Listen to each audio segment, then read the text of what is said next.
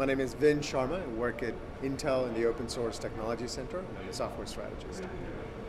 Um, and I'm Jason DeRose, and we're here at UDS-Q in Oakland. And um, Vin, so Intel is a sponsor of UDS-Q, and can you tell us a bit about um, why Intel's sponsoring, what Intel's you know involvement with open sources? Sure, I'd be happy to. So Intel's been a very strong participant in the open source ecosystem. In fact, it was one of Intel's own um, PCs that inspired some of the development of Linux in, back in the day when Linus was working with it. Um, and ever since we've engaged with the broader open source ecosystem to certainly empower a lot of the technology that comes from Intel and enable that in the software layer, but also work with partners to develop products and solutions that enterprises, that consumers, that businesses can use. So we've been a very active participant, and it's uh, this is a form in which we um, which we support the community, the developers that work on Ubuntu or work within the Ubuntu ecosystem. So it's a great way for us to show our support. Fantastic. So I know the summit um, cloud is a you know, huge focus, and uh, what, what are some of the things that Intel's looking to, you know, kind of build awareness around as far as um, software technologies that are being developed um, to support you know, new hardware features and yeah, so Intel's been engaged with the development of cloud and adoption of cloud computing for quite some time. One of the things that we have is uh, a very clear sense of a vision for how cloud computing ought to shape up in order okay. to better serve the needs of both businesses as well as consumers. And we've called it sort of a Cloud 2015 vision, in which we envision clouds to be automated, to be federated, which means that you might have a choice among various cloud computing um, ecosystems and platforms and be able to move your workloads across them. Also client awareness in that you know the cloud services that are consumed by um, businesses as well as individuals are better able to understand the, the context of the, the usage, right? So if it's whether it's a PC or a client or a mobile phone or anything else, that the cloud cloud service is being delivered in a way that takes best advantage of both ends of the compute platform, the data center as well as the client.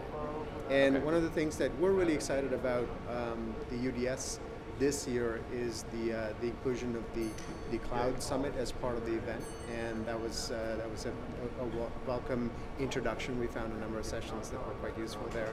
Um, and quite informative. It's a good way to bring the open source community that's working on cloud computing together. So that was um, a good thing to see.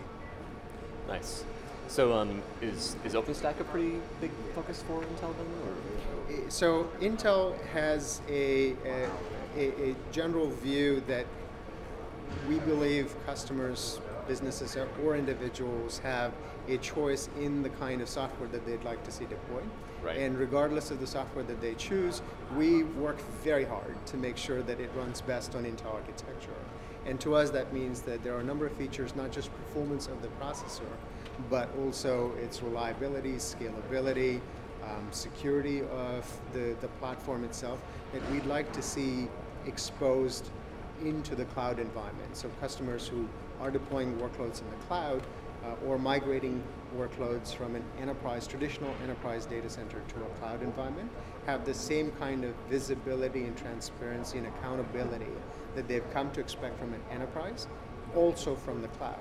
That means that um, we'd like to see clouds that um, are in compliance with security standards or privacy standards or any kind of um, regulations that are established by local or regional government. And, and, to that end, um, we really see a, a, opportunity to contribute upstream into the OpenStack project to drive a lot of those enhancements and evolution of the project to serve the needs of customers who are looking for those kinds of security compliant, audit compliant cloud environments that would help migrate more of these workloads into that more elastic infrastructure.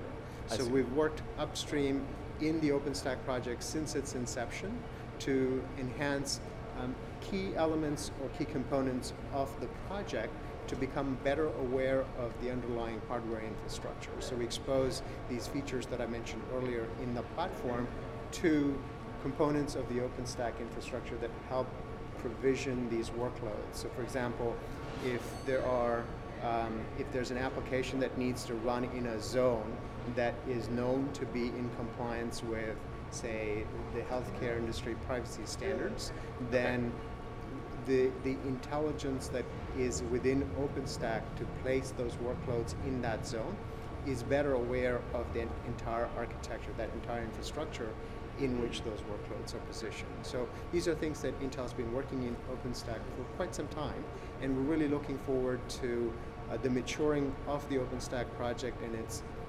evolution into products and services that vendors um, can offer, the software vendors can offer to, uh, to customers that, that bring that entire stream of technology to bear. I see. So yeah, so we're really excited about the OpenStack project, um, and which is why you'll see us um, talking a fair bit here at UDS about OpenStack. We did a plenary session on that topic as well. Another project that Intel's very interested in that aligns very well with Canonical's interest as well as the Ubuntu developer community's interest is Hadoop.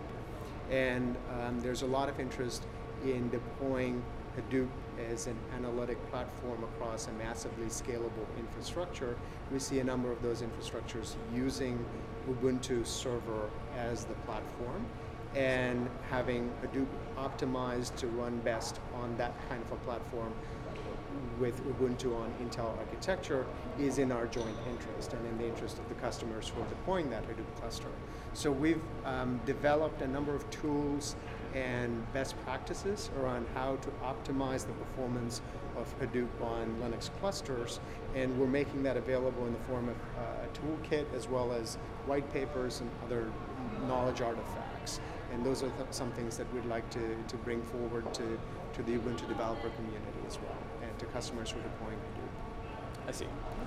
So, what are some things that um, customers might be interested in that's been covered this week in terms of uh, customers wanting to run um, Ubuntu server on Intel hardware? Yeah, so one of the really exciting projects that's been kicked off for quite some um, in, in, the past about nine months or so is um, the the release of um, a, a, new modular server infrastructure. In fact, we're showing that off here at our table today. Um, it's the the um, the Intel modular server is is a converged infrastructure that includes compute nodes as well as storage that can be very quickly reconfigured and is really well suited for small medium businesses that like to start out with a particular with a with a relatively small footprint compact footprint but be able to scale as their business needs grow.